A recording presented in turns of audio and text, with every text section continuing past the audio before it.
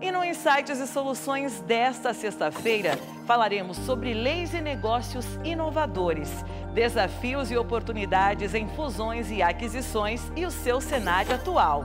Quem estará conosco será o advogado, especialista em projetos e negócios inovadores, Kael Moro.